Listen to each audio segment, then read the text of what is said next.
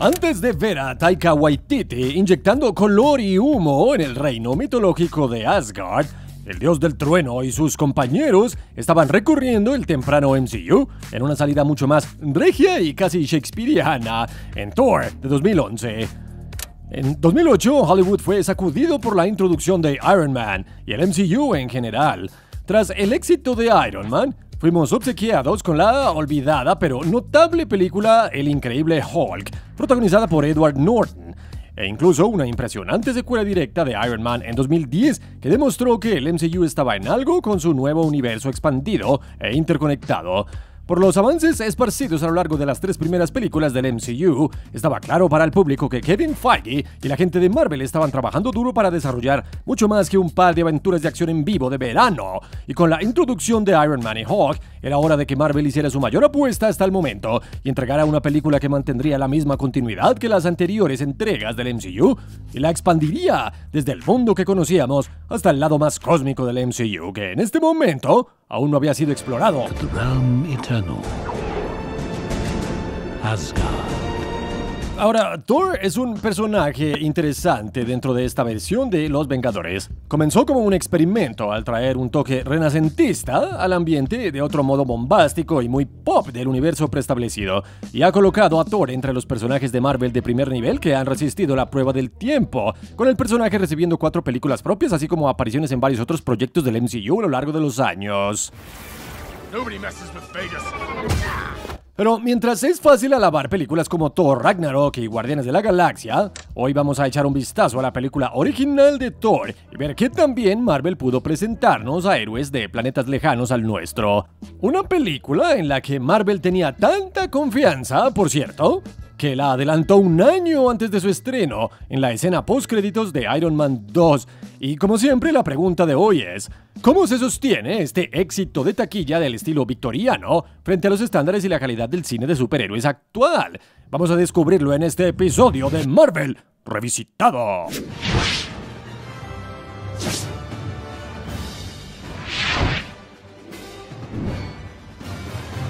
El dios del trueno, Thor Odinson, es un heredero al trono de Asgard, muy mimado, inmaduro, ingenuo y algo tonto, que actualmente está bajo el gobierno del padre de Thor, Odín.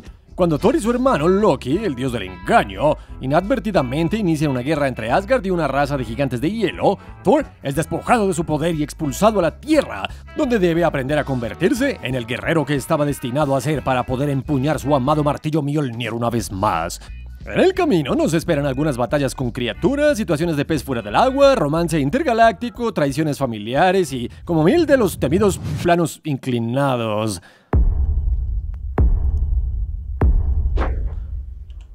Ahora, esta película fue dirigida famosamente por Kenneth Branagh, quien conocerás como el director de películas como Asesinato en el Expreso de Oriente, Muerte en el Nilo y Cacería en Venecia. Pero antes de que fuera elegido para dirigir, la película casi se hizo con el director de Kick-Ass, Matthew Vaughn, quien planeaba revivir una versión de la película basada en el borrador de 1991 de Sam Raimi, que desde entonces había sido abandonado. Hay que admitir que, aunque probablemente Matthew Vaughn habría hecho un trabajo excepcional como director de esta película, es muy afortunado que se haya retirado y pues luego se le haya ofrecido un trabajo dirigiendo algunas de las mejores películas de X-Men que hemos obtenido hasta la fecha.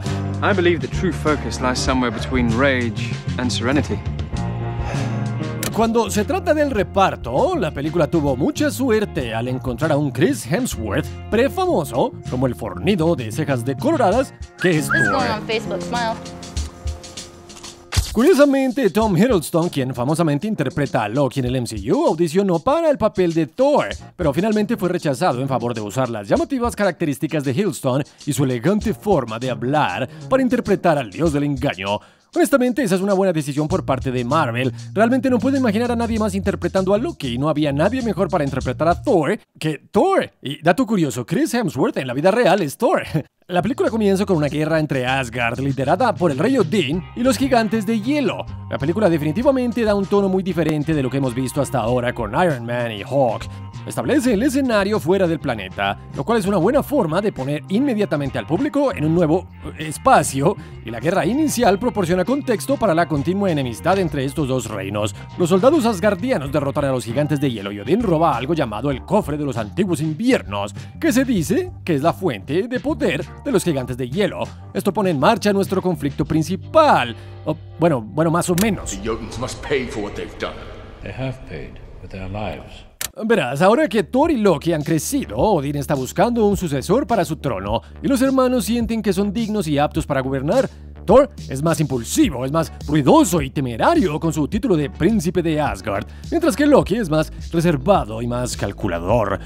Odín parece estar favoreciendo a Thor para tomar el mando como rey. Loki podría estar un poquito celoso acerca de eso. Después de que Thor y su compañía van al reino de los gigantes y comienzan una pelea bastante épica, la decepción de Odín en Thor por revivir un viejo conflicto termina en que Odín le quita los poderes a Thor, su martillo, y como resultado, su propósito, y lo envía a la tierra como destierro, específicamente a Nuevo México. La mayor parte de esta película es realmente una especie de escenario de pez fuera del agua elevado. Thor es básicamente humano ahora y se ve obligado a unirse a un grupo amigable de científicos excéntricos, interpretados por Natalie Portman como Jane Foster y también con Kat Dennings y el siempre confiable Stellan Skarsgård. Básicamente actúan como los guías de Thor a través de este extraño nuevo mundo en el que se ha encontrado. You. Alfheim? Dornheim? New Mexico? Ahora, aunque personalmente me gusta cuando el MCU se vuelve completamente extraño, esta película tiene un buen equilibrio de humor y seriedad que hacen que toda la duración se sienta como si realmente estuvieras obteniendo una historia completa. Thor debe simultáneamente probarse a sí mismo digno para ser permitido volver a casa y que sus poderes sean restaurados, mientras también navega las reglas de la Tierra que lo mantendrán a salvo de ser rastreado por Shield y con suerte de tener a su hermano Loki de ganar el trono de Asgard y destruirlo por completo.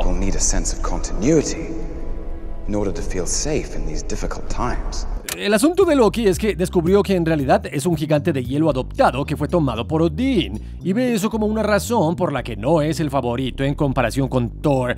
Mientras Thor está jugando en el reino de la Tierra, somos obsequiados con algunos clásicos huevos de Pascua de Marvel que no son tan sutiles, aunque igual los disfrutas a pesar de ser un poco obvios. Need eyes up high with a gun.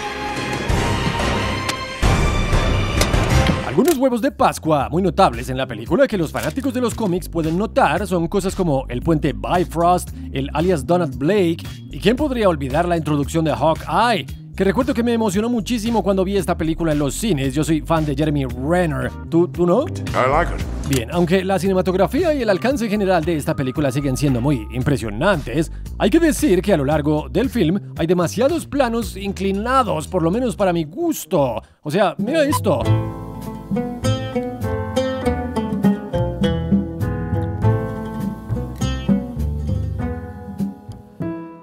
Algunos de ellos son tan diagonales que casi se ven completamente del lado, y los cortes bruscos de fotogramas que se ven bien como, como este, algo como este, son muy distractores. Sé que todo esto se ha dicho antes, pero vaya, vaya que es feo, por lo menos en mi opinión. Pero bueno, a pesar de las cuestionables elecciones de composición del encuadre, la película ofrece algunos temas fuertes que van bien con el tipo de historia shakespeariana. Hay una escena justo después del punto medio de la película, donde Thor rastrea a Mjolnir y se abre camino a puñetazos a través de una gran cantidad de agentes de SHIELD para llegar a él, solo para darse cuenta cuando finalmente se reencuentra con su icónica arma de que ya no, ya no puede levantarla. Esta escena es desgarradora. Thor ha sido arrogante, ha sido divertido, incluso ha sido encantador y valiente, pero en este momento, Thor está roto.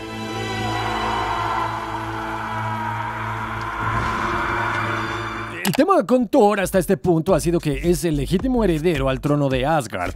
Para Thor, Mjolnir no es solo un arma, es su amigo, es un compañero, es una razón de ser. Y cuando no puede levantarlo, se da cuenta de que realmente no es digno de nada de lo que antes se sentía con derecho. Thor aprende en ese momento que ser digno va más allá de su linaje, pero que debe convertirse verdaderamente en un héroe para probarse a sí mismo y poder montar la nube voladora. Ah, no, eso no. En realidad es una muy buena actuación de Hemsworth también, y una escritura increíble para hacer que esta escena sea realmente algo que cambie las cosas para Thor. I'm so sorry. Para contrastar esta escena, hay momentos de puro humor que ayudan a romper la película de su arco de viaje del héroe, estilo Rey Arturo. Específicamente todos recordamos la escena icónica donde Thor prueba el café y los panqueques por primera vez. Drink, I like it. I know, it's great, right? Another! O, o qué tal justo después de eso, cuando escucha que Mjolnir ha sido descubierto a 80 kilómetros al oeste de él. I need a horse! Ay, ese es el Thor del que se enamoró Natalie Portman. Y hablando de contraste, las escenas en la Tierra de esta película tienen lugar en Nuevo México, que obviamente no es el escenario más estético para hacer una película. Sin embargo, en realidad, me gustó el aspecto del pequeño pueblo del oeste del escenario debido al alto contraste que tiene con Asgard, donde Asgard es sofisticado, imperial, casi etérea. Nuevo México es polvoriento, es desolado y es muy plano. Añade más a la confusión de Thor al ubicarlo en un lugar que no tiene absolutamente ninguna semejanza con el lugar de donde él viene. Your ancestors called it magic, and you call it science. Well, I come from a place where they're one and the same thing. Así que mientras Thor está en su pequeña búsqueda espiritual, eh, descubriendo qué tipo de líder necesita ser, Loki está saboteando Asgard en pleno efecto. Después de descubrir que es un gigante de hielo adoptado, Loki planea tomar el trono de Asgard y hacer un trato secreto con los gigantes de hielo para infiltrarse en el reino y recuperar el cofre de los antiguos inviernos. Si eso sucede, no habrá nada que los detenga y tendrán la gloria de su raza, lo que también significa la caída de Asgard. Thor simplemente no puede dejar que algo así suceda. Pero, ¿qué puede hacer un tipo? O sea, sin su martillo y sus poderes, es solo un tipo fortachón con amigos atractivos y un plan a medias. Bueno, al menos hasta que los amigos de Thor de Asgard lo visitan y le informan de los planes de Loki. Esto lo pone en movimiento mientras intenta enfrentarse a un destructor espacial sin sus habilidades y se sacrifica para salvar al pueblo de inocentes residentes locales de Nuevo México. Esto envía a Mjolnir volando por el cielo como un murciélago salido del infierno para reunirse con Thor una vez más y así es hora de la batalla final.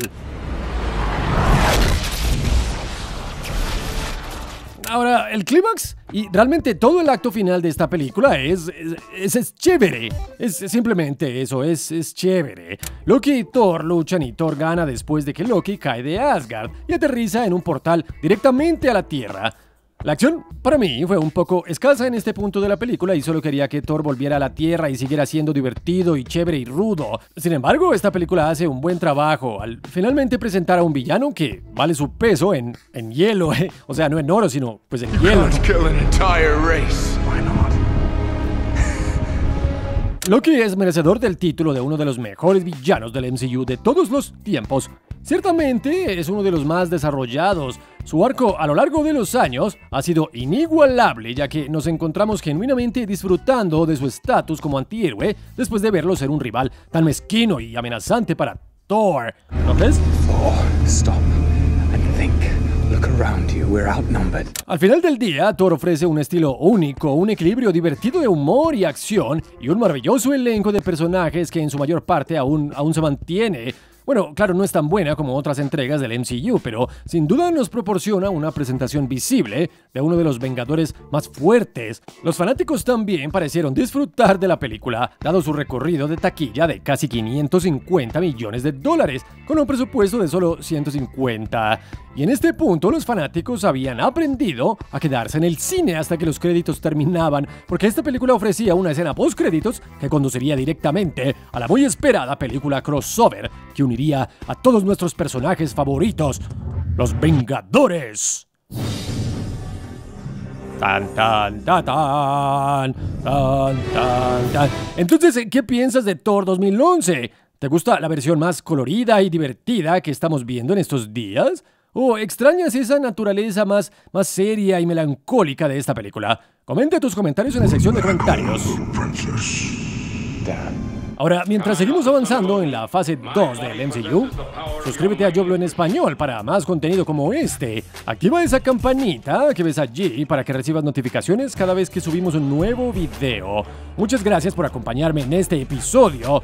Somos una compañía independiente, así que apreciamos mucho tu apoyo. Hasta la próxima.